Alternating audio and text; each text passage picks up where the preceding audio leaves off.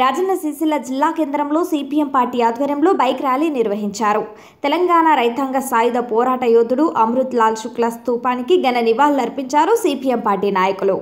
Sircilla mini tank bund కొత్త చెరువు కట్టపై తెలంగాణ సాయుధ పోరాట యోధుల విగ్రహాలను ప్రతిష్ఠించాలని డిమాండ్ చేశారు. జిల్లా కేంద్రంలోని ప్రధాన వీధుల గుండా బైక్ ర్యాలీ నిర్వహించారు. ఈ సందర్భంగా శాంతి ప్రకాష్ శుక్లా మాట్లాడారు. సెప్టెంబర్ ఆ రోజు తెలంగాణ సాయుధ పోరాటాన్ని చేసి కమ్యూనిస్టులు ఉత్తమల్లారెడ్డి భూపతి రెడ్డి అమృత్లాల్ శుక్లా గడ్డం తిరుపతి రెడ్డి ఇంకా చాలామంది కూడా సాయుధ పోరాటంలో సాయుధ పోరాటంలో పాల్గొని వాళ్ళు నిజాం వ్యతిరేక పోరాటాన్ని జరిపించడం జరిగింది.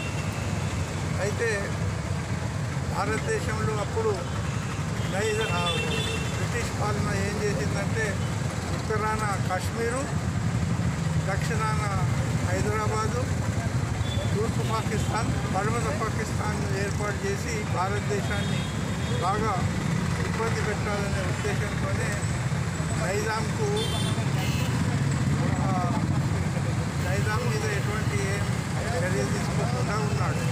అయినప్పుడు నైజాం వ్యతిరేకంగా ఇక్కడ తెలంగాణలో మొత్తం గ్రామాలు కదిలి భూమి కోసం భక్తి కోసం ప్రజా విముక్తి కోసం పోరాటం చేయటం వల్ల నైజాం తలవొగ్గినాడు అదే సమయంలో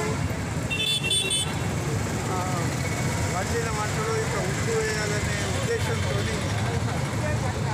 సర్దార్ వరదాబాద్ పటేల్ ఇక్కడికి వచ్చి మేము విము- విముక్తి చేసినామని చెప్పుకుంటున్నారు కానీ ఒరిజినల్గా చేసింది పోరాటం తెలంగాణ స్థాయిలో పోరాటం చేస్తే వాళ్ళు చేయబట్టినే రైతాంగం లొంగిపోయింది కనుక ఈనాడు ఈ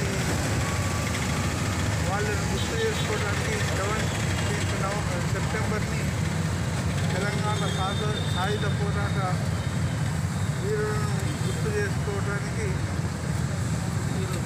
సిపిఎం పార్టీ నుంచి ఈ కార్యక్రమాన్ని తీసుకోవడం జరిగింది.